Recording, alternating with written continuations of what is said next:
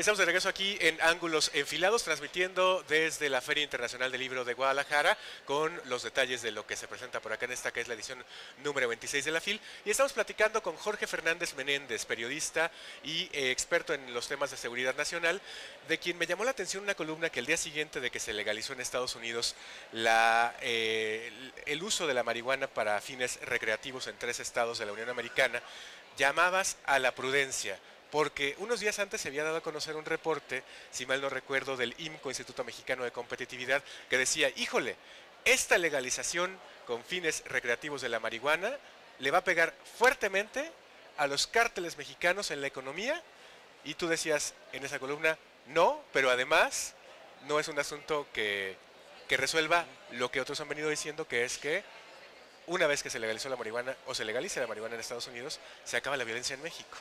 No, yo no... Eh, finalmente hay 18, 19 estados de la Unión Americana donde de una u otra forma la marihuana es legal. ¿no? Eh, para usos medicinales, pero bueno, usos medicinales es conseguir una receta y hay dispensarios que la venden con mucha generosidad. Pero Colorado y Washington la, legalizan, Oregon está ahí en el límite, pero el punto fundamental de esto es, a ver, eh, el 60% de la marihuana que se consume en Estados Unidos se produce en Estados Unidos. No se produce en México, no se produce en Colombia, en Centroamérica, no se produce en los Estados Unidos y cada vez más se produce en forma eh, legal. No solamente el consumo es legal, la producción también es legal. Las pequeñas producciones de, marihuana también son legales, hay una cierta cantidad de plantas que puede tener una persona. Eh, entonces, la tesis de que legalizando la marihuana en, México se va a acabar, se va a golpear fuertemente a las finanzas de los cárteles, eh, pues yo no la veo sustentada por ningún lado. Debe haber grupos, organizaciones que evidentemente sí serán afectados eh, por esa lógica, pero no lo veo como algo generalizado que se pueda afirmar. Tampoco es verdad que se legalizó ya la marihuana en los Estados Unidos. estamos hablando de ciertos estados y la tendencia evidentemente va para allá. La tendencia evidentemente va a ir en ese sentido. Pero lo que me preocupa mucho más es que se crea que legalizando la marihuana se va a acabar con la inseguridad y con la violencia. A ver, nuestros cárteles, el gran negocio de nuestros cárteles no es la marihuana, es la cocaína y las metanfetaminas. Yo no he visto a nadie que esté hablando de legalizar la cocaína y las metanfetaminas en este momento. No hablemos ya de otras drogas como la heroína, etcétera, etcétera. Eh, ese es un punto. El otro punto que es fundamental y que está muy presente en el libro que vamos a presentar el próximo sábado, el sábado primero a las 7 de la noche, es precisamente eh, el tema de cuáles son nuestros principales problemas de seguridad pública, lo que te afectan a ti, a mí, a nuestros amigos que nos están viendo. Es el secuestro, la extorsión, el robo, la venta de drogas a niños de 6, 7, 8, 10 años. A mí la verdad que alguien a los 20, 21, 30, 50 años se fume un churro de marihuana, ni me va ni me viene. Es un problema de decisión personal de esa persona, lo mismo que se toma una botella de vodka.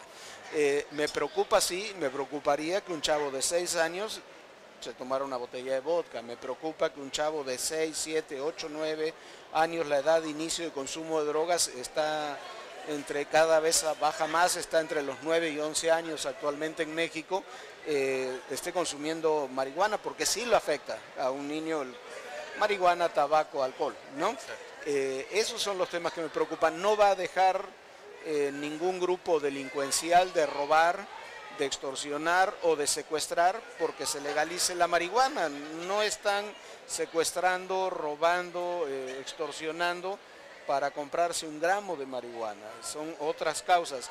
Entonces la legalización de la marihuana, lo que yo decía en esa columna, lo, lo hemos abordado en otros ámbitos, es básicamente que debe ser primero entendido como un tema de salud pública y lo deben discutir los especialistas en salud pública. Segundo, que no cambia en absoluto el ámbito de la seguridad. No vamos a ser un país ni más ni menos inseguro, quizás en algunos planos puede ser hasta más inseguro en, una lógica de, legalización.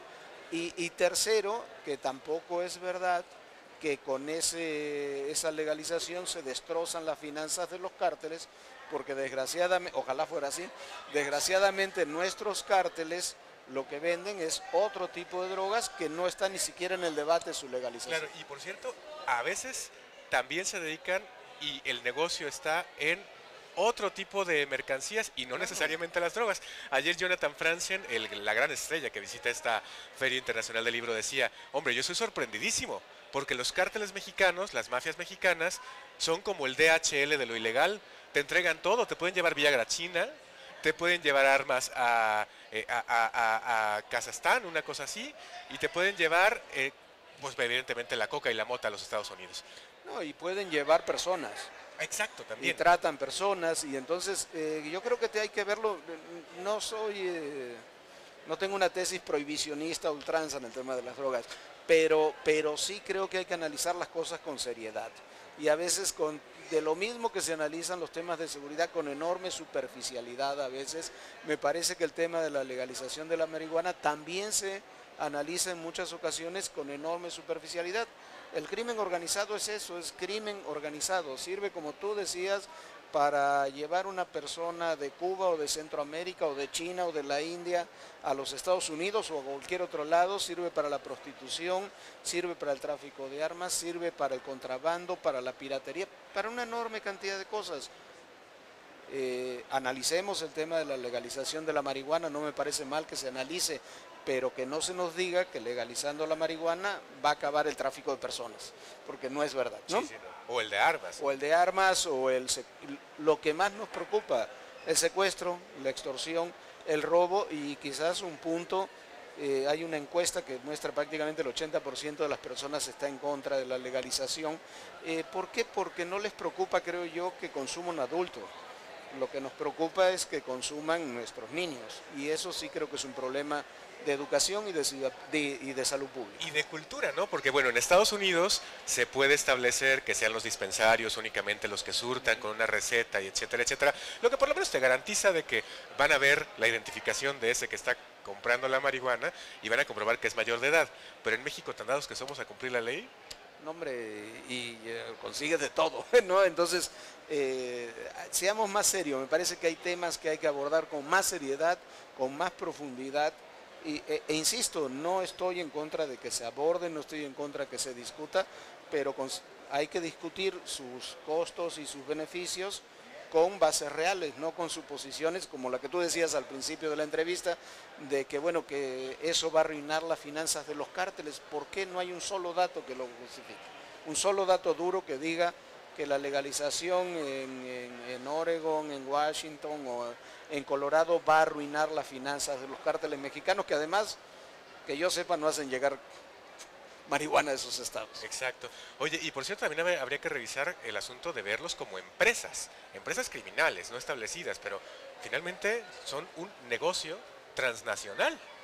Y eh, primero son un negocio transnacional, son grandes empresas que no sabemos cuánto generan. Cuando hablábamos ahora de datos duros, hay, hace dos años se dio a conocer una investigación que hicieron la Secretaría de Hacienda, el SAT y el Departamento del Tesoro de los Estados Unidos.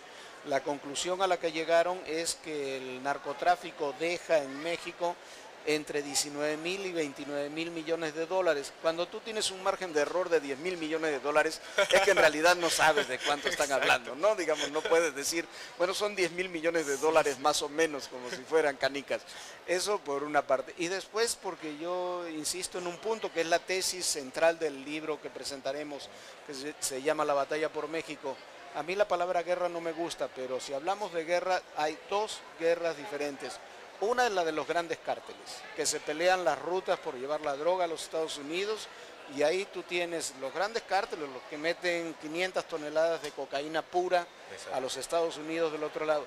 La otra guerra, la otra guerra es la de las pandillas, lo de los chavos que pelean la colonia, la escuela, eh, la esquina, que están peleando por vender un gramo eh, y de pésima calidad. Entonces, eso ni sueñan, hombre, con meter este, una tonelada de cocaína en los Estados Unidos. No es su objetivo, no es su, fin.